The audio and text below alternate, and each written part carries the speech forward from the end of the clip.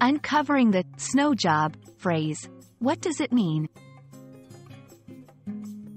Hello everyone. Today, we're going to delve into an interesting English phrase, snow job. You might have heard it used in movies, TV shows, or perhaps in casual conversations. But what does it mean? Let's find out. The term, snow job, is believed to have originated in the United States during the 1940s. While the exact roots are not entirely clear, it's generally thought to relate to the idea of covering something up with snow, much like how a snowstorm can cover landscapes and make things hard to see.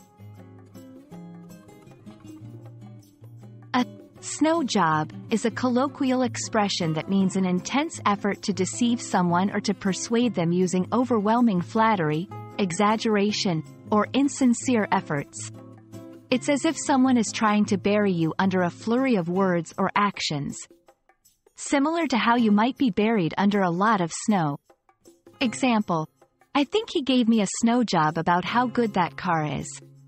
I found out later it had many problems. To help you understand the usage better, here are some contextual examples. 1. Business. Don't fall for the salesman's snow job. Always do your own research before buying. 2. Politics. Many voters felt that the candidate's promises were nothing more than a snow job. 3. Social situations. She said she was late because her car broke down. But I think it was a snow job. I saw her posting photos at the mall earlier. Understanding synonyms can help you grasp the meaning better. Some synonyms for snow job include deception, misdirection, flattery, bluff. Remember, context is crucial.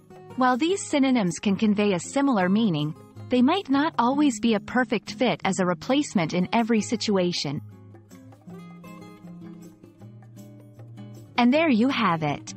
The phrase, snow job, is a colorful way to describe attempts to deceive or overly persuade someone with words or actions.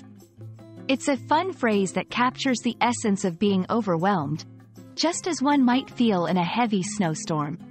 We hope you found this explanation enlightening. Stay curious, and keep exploring the rich tapestry of the English language.